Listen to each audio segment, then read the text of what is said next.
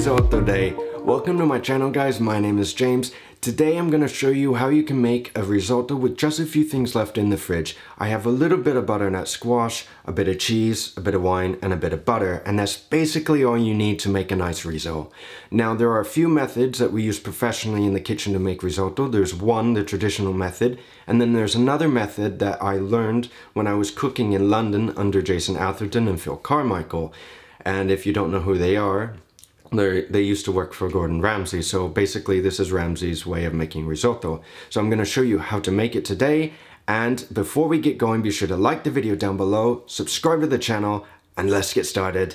So, like I said, I have a half butternut squash left in the fridge. First you want to take the seeds out, and if you're stuck in the same predicament with a bit of skin left on it, if you're going to use the knife, what you can do is cut it in half sideways, again, then put it on the flat side or the larger side and then slowly go down and cut the skin off as you rotate.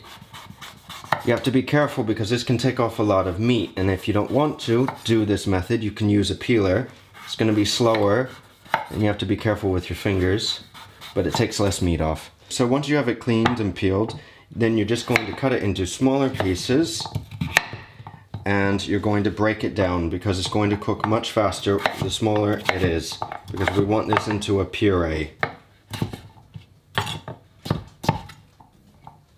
More or less the same size. After you have it cut, we're going to put it in a saute pan, everything in.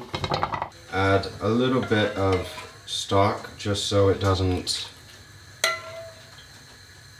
burn and we're going to put a little bit of aluminum on it because it's going to keep the heat in but allow a bit of a gap so it will allow the water to evaporate because we don't want this soggy. We don't want a wet puree.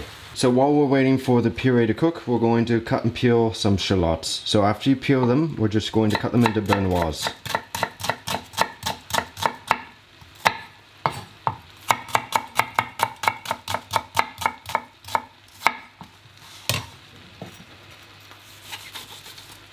just like so.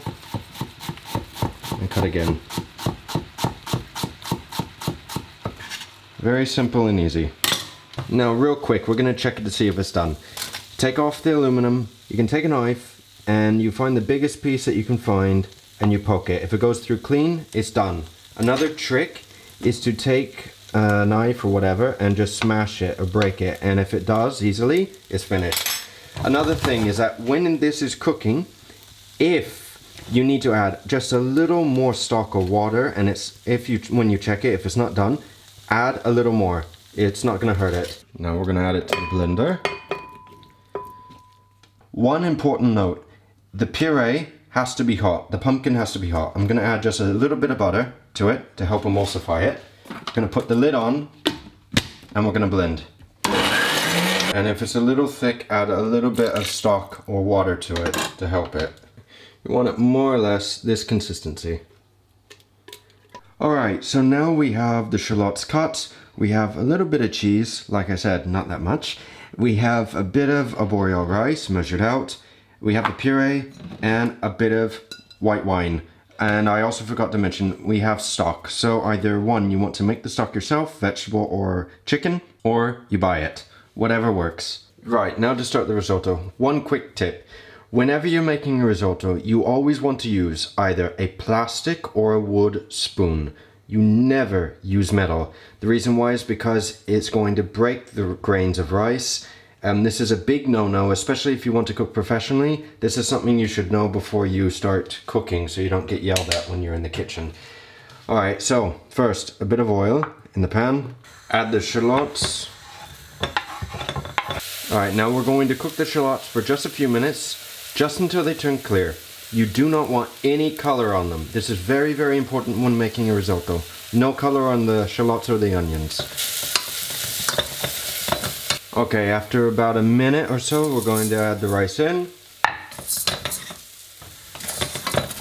After about another minute, minute and a half, we're going to add some wine.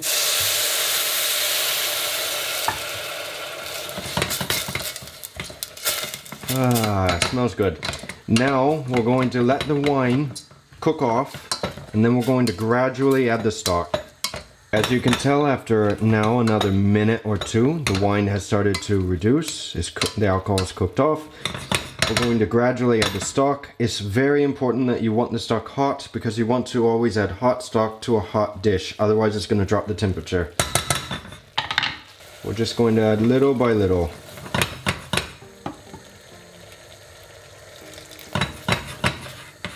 Now while the risotto is cooking, you want to continuously move it. Occasionally check it, move it again. In the beginning it's not as important. When it starts to thicken and at the end it becomes much more important that you move it continuously. And you'll start to develop a coating over the rice. It'll start to absorb the stock, absorb all the fat. And when it's made properly, risotto is actually a pretty nice dish to eat when it's made correctly. Now after several minutes of cooking with stock I'm going to add a little bit of the puree that we added. I'm just going to add two tablespoons. I'm gonna mix this in. In total, the risotto should take about uh, about 20 minutes from start to finish in some kitchens, or actually in the professional kitchens, what we do when we're making the risottos is that we par cook the rice beforehand and then it only takes us about three to five minutes to finish a risotto. So it's very quick. So you get the risotto much faster than waiting like 20 plus minutes for it. Alright, now we've been cooking for about 13 minutes. I've been continuously moving it and adjusting the heat as you need. Alright, you can taste it and you can actually see that the rice, this little white piece of the rice, is not done yet. We're close, but not done yet. So, as you're cooking, continually taste it, and if need be, add a little bit of salt. Just a little bit. Until now, we haven't added any salt to any of it.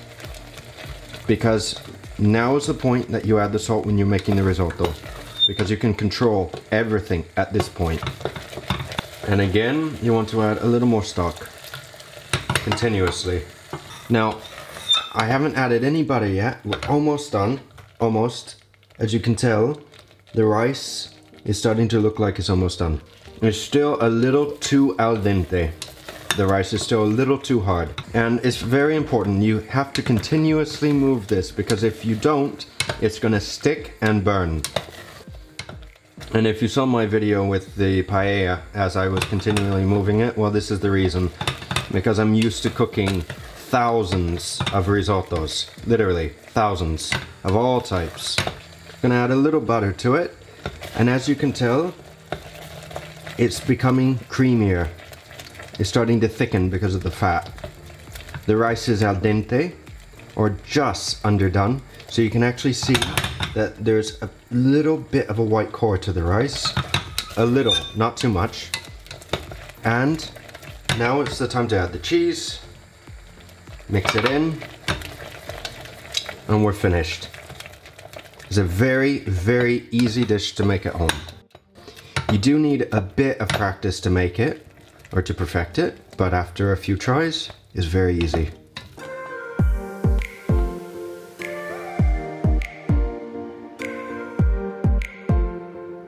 So and that's the end of it guys. That's one easy way that you can make a risotto like this. It's not the traditional way, but it is an easy way, step by step, if you want to do it at home. And also be sure to save the elements like some of the pumpkin seeds if you want to, to use them for garnish. Or if you have any other Parmesan cheese, you can lay it on top. It's very easy, you just have to use your imagination. But anyway guys, be sure to like the video down below and above all, be sure to subscribe to the channel if you haven't done already. Thank you for watching and I'll see you guys again soon.